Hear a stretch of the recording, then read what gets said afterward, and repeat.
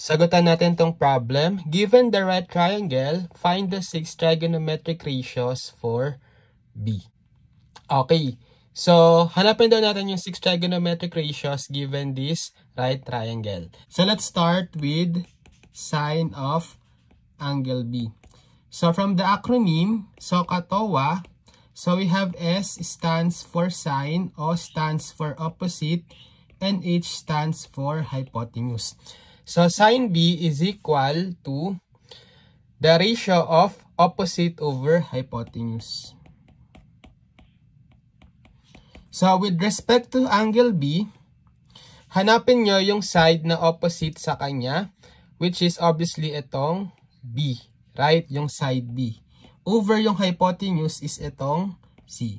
So therefore, the value of B is 24 over the hypotenuse which is 25. So therefore, sine B is 24 over 25.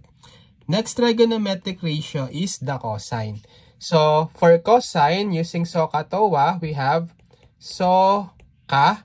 So C stands for cosine, A stands for adjacent, and H stands for hypotenuse.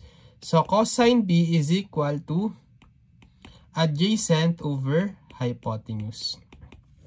So using this figure, ano naman yung adjacent with respect sa angle B?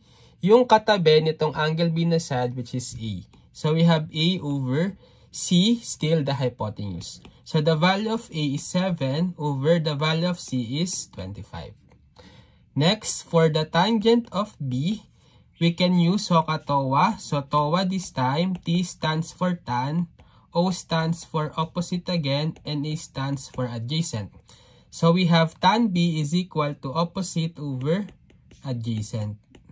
So we already know the opposite to B, it's side B, and the adjacent to B, it's the side A. So therefore, B is equal to 24 and A is equal to 7. So therefore, tan B is 24 over 7.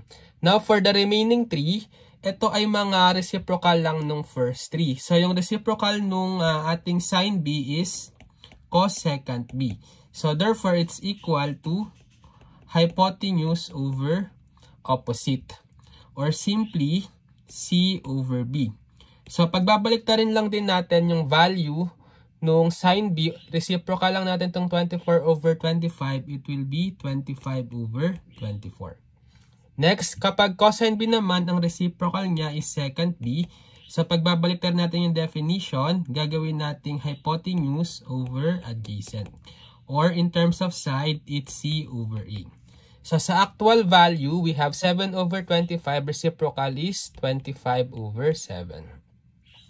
Next, for the reciprocal ng tan B, we have the cotangent of B. So, we have adjacent over opposite or A over B. So, the actual value, reciprocal lang natin itong 24 over 7, it's 7 over 24. So, therefore, these are the value of the 6 trigonometric ratios for angle B. Next, given the right triangle, find the 6 trigonometric ratios for A. So, this time, hanapin naman natin yung trigonometric ratios for A. So, for sine A, we have opposite over hypotenuse. So, opposite sa angle A, it's A over hypotenuse is C.